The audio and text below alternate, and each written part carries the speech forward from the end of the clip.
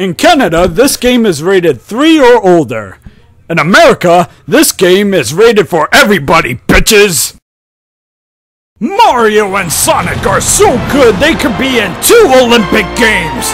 Yeah, that's right, they're in the Winter Olympic Games! You get to see cheaters! Lots of them! And also people playing by themselves, and majestic moves, terrible moves, more cheating, and of course Luigi shenanigans. But there's also ice dancing! Finally! Yay! And hey, who let that fan in here? Ooh, what's this?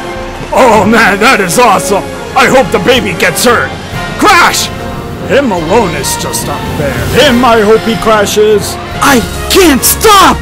Team Pizza Hut versus Team McDonald's, who will win? Oh, Knuckles has the puck. Oh, nice!